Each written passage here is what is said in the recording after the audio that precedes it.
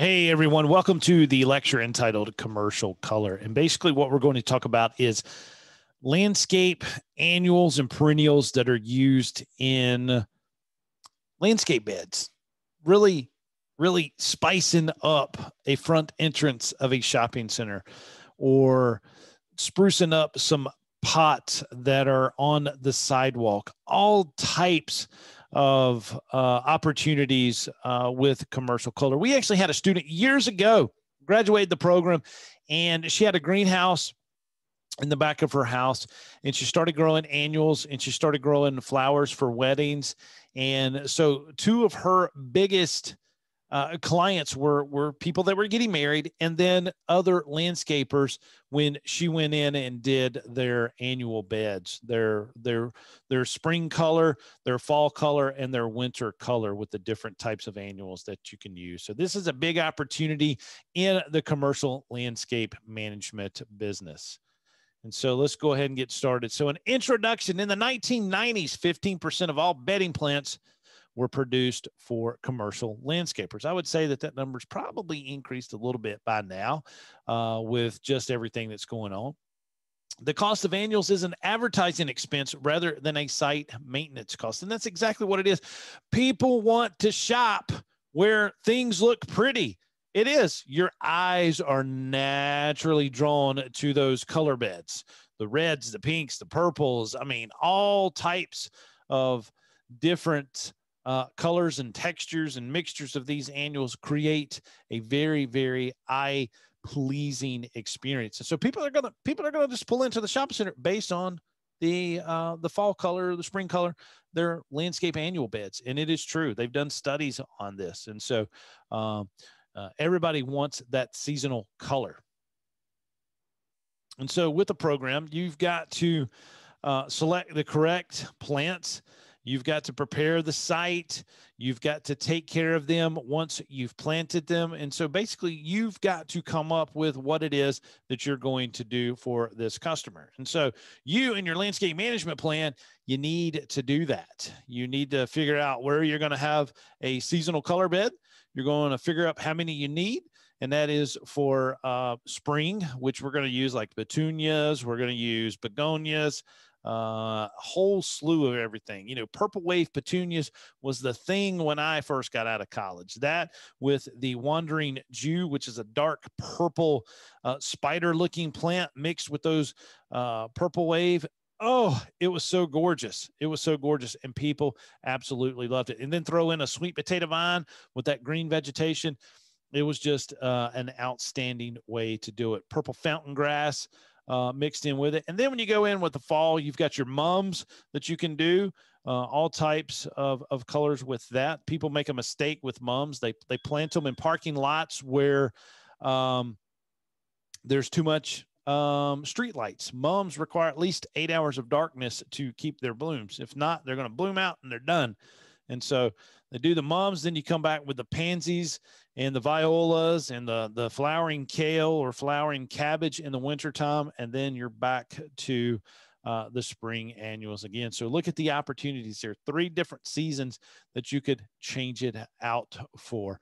And then all the maintenance with it. You got to make sure they're watered. You got to make sure they're fertilized. Depending on the species that you choose, you might have to go in and deadhead some of the blooms. So it is a it is it is not maintenance free. You're going to have to spend some time with it. But with your annuals, they grow one season.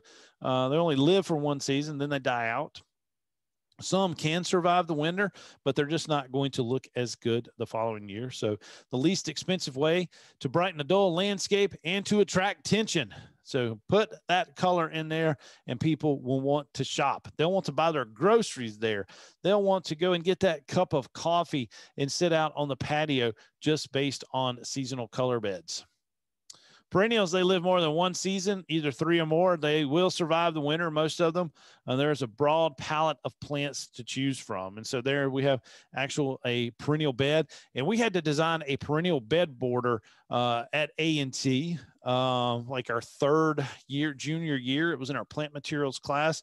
And you had to have all these perennials lined up and you had to base it uh, color throughout the whole year. It was actually a pretty cool project. Design, do not use too many colors. Commercial properties usually require simple color schemes like red, blue, and yellow. Residential properties benefit from more of a variety in color and texture. And that uh, basically right there looks more like a perennial bed border up against that fence. So nice little design going on right there.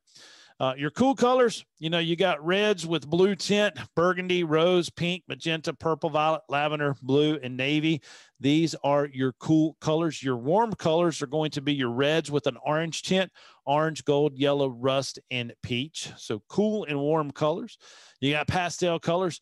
They uh, are used in areas viewed mainly in the evening uh, or in shady areas. Again, it's going to brighten brighten that opportunity uh, or that space uh, and, and, bring some sunlight in because that foliage and those uh, petals on the flowers will reflect what light is in there and brighten it up.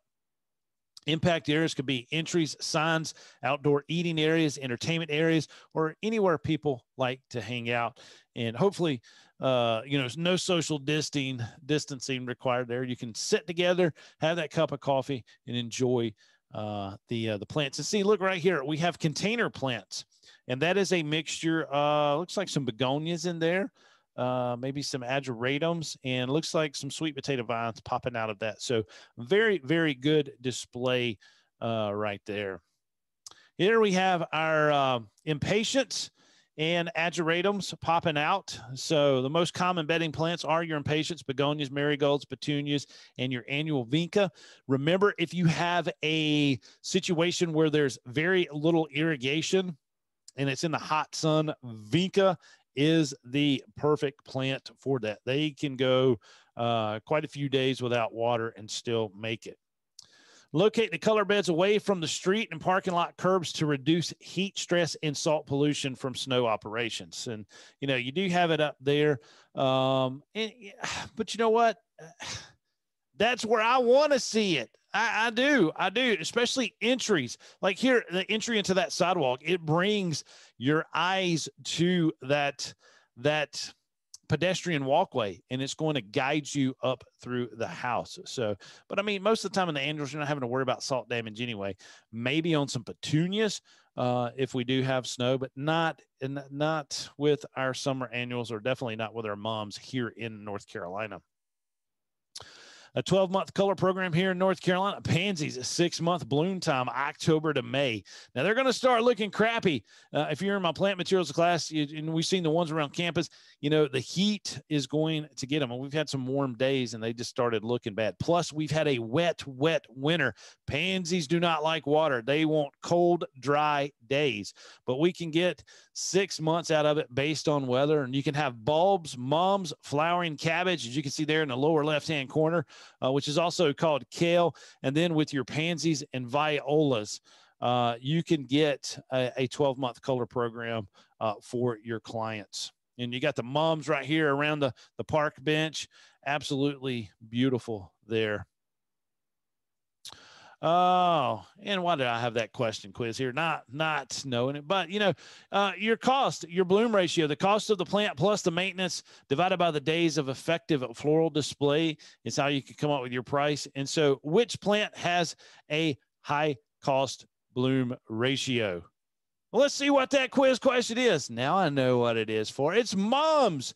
Mums have a very high cost to bloom ratio. For one, because we're only going to use them for a few weeks, only a few weeks, and usually around the month of October. And it looks really cool, you know, especially especially the oranges and the yellows. And if you use them with some corn stalks and bales of hay, you can really create like a Thanksgiving theme uh, for your clients there installation select and use only quality plants you need to find a really really good grower uh, to help you uh, get your customers uh, happy you need to buy from that same individual uh, you know year after year get a good business relationship going with them. Cell packs are the most common sizes sold.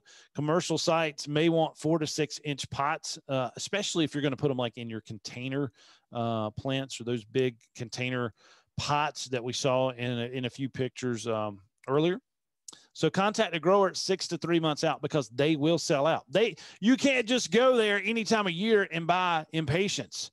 Like they're going to be sold in the spring and then they're done and then they're growing their stuff that they're going to sell in the fall. So make sure you stay in contact with that same grower uh, each and every year. Our grower calls us. They're like, hey, what do you guys need for this year? So you have that working relationship. Bed prep, the soil tilled 8 to 16 inches. Uh, organic matter is incorporated 20 to 25% of the volume of the root zone and two inches if the soil is tilled to eight inches. You can use leaf mold, compost, peat moss, uh, and a mixture with something like uh, cow manure fertilizer added at bed preparation. You want to use one to two pounds of nitrogen per thousand square feet of bed space as a complete low nitrogen fertilizer with a ratio of one to two to one, or one to one to one, or one to two to two, or very similar. Osmocote is a very, very good uh, fertilizer for your annual beds. Most annuals and perennials will tolerate a soil pH of 5 to 7.0 or slightly higher. Do not plant warm season summer annuals until the danger of frost is past and the soil is warmed up in late spring. Usually, we use the date of April 15th to change out from pansies to our summer annuals, but I have seen it. I have seen frost past April the 15th, and that's what's scary. You don't want to, to get new plants in there and then we get a hard uh, freeze. Jack Frost visits us during the night and blows his cold breath on them. It will kill some of those young plants. But, you know, typically it's April 15th, but I have seen it go, uh, you know, a week or two later in, in the season. So it's, it's kind of crazy. North Carolina, where else in the world can you see all four seasons in one day? But mulch only about half inch deep around the base of the plant. Uh, and we typically use what uh, most people refer to as a soil conditioner. That way, when we pop out the old annuals, we can till in that soil conditioner and we're continually replenishing uh, that, uh, that annual bed. And then you'll want to water immediately after planting, and you would want some type of either drip irrigation uh, or uh, if you did the tubing with the little emitters on it, you wouldn't want to use like a rotor or a pop up on your annual beds. You would want more something along the lines of drip or drip with those um, uh, those tube emitters management, summer fertilization, and irrigation. Like I said, one to two to one or one to one to one or similar with a rate of half to one pounds of nitrogen per thousand square feet of bed uh, space during the growing season. Beds should be higher than the surrounding turf or damage. You want to mound them up. That gives them that little bit of height and it makes them pop in the, the bed water by drip irrigation, hand, or a sprinkler, meaning like a hand sprinkler. Uh, I don't use this rotor down here. Uh, I love rotors. I love turf grass and I love irrigation, but this is not what you want to water your annuals with. And then be careful uh, with any type of impact sprinkler that you may use. And if you plant these, you got to tell this to your clients too. You don't want them doing it. With physical care, deadheading keeps the plants vigorous, reduces disease problems, and stimulates subsequent flowering. Uh, it's going to regenerate that new flowering and keep them looking good all year round. Check every week for deadheading. So basically, when you're doing a bunch of this, you need to have maybe a crew designated just for your color beds. Uh, and that's usually a one to two person crew, sometimes just one man, you talk about a cool job. Put in your your headphones and start jamming to some good music, taking care of these beautiful plants. And you would get a lot of attention that way. People are going to ask you, "What are you doing? How are you doing that? You know, tell me how to do it." Weed control, most expensive maintenance item for seasonal color beds because you're gonna have to hand pull them. You're not gonna be able to go in and spray Roundup or anything on top of this stuff. It's gonna be a lot of hand pulling. Three options for controlling these perennial weeds is cultivation. Emmanuel labor, down on your hands and knees, crawling, pulling these weeds from in between the plants.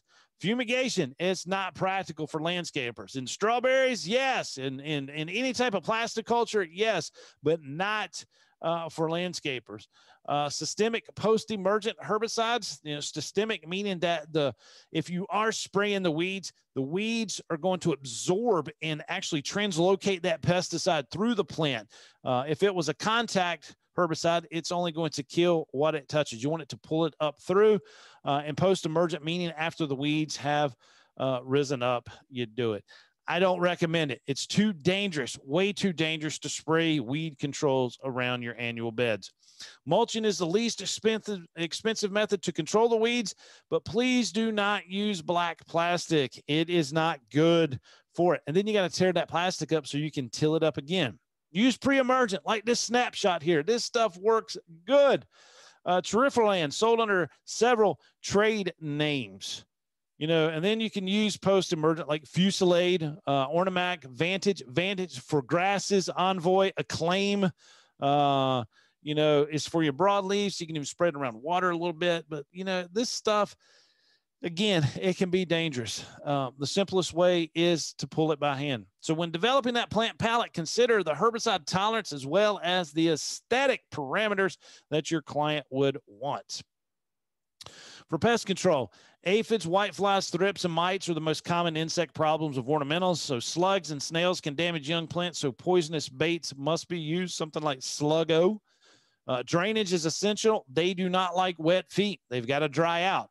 Fill the containers with soil to one inch from the rim for easier watering, and then fertilize once every week or two when irrigating. And here is a hanging basket full of uh, petunias. And does that just not make you want to just jump up and down. I mean, those are absolutely beautiful. And I love walking downtown or any municipality that does hanging baskets from like their uh, street signs and stuff. Like up at uh, Blowing Rock, uh, if you ever get a chance, drive up there, just look at, you know, the way they've landscaped around the street with these big hanging baskets. Absolutely beautiful.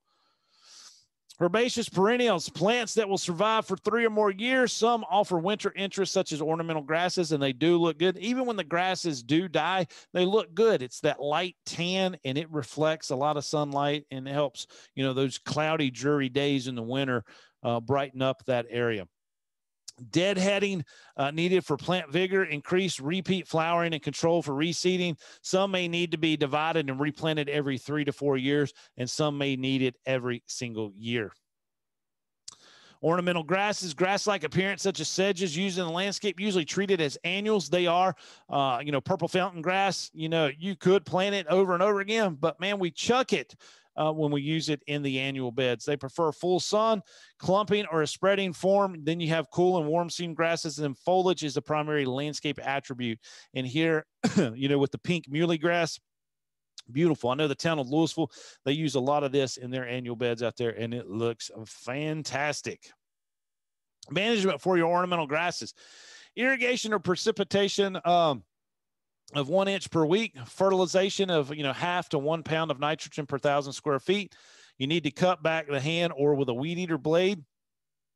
Cut them back so they will rejuvenate and look better. You may need to divide them again every three to four years to prevent dying in the center.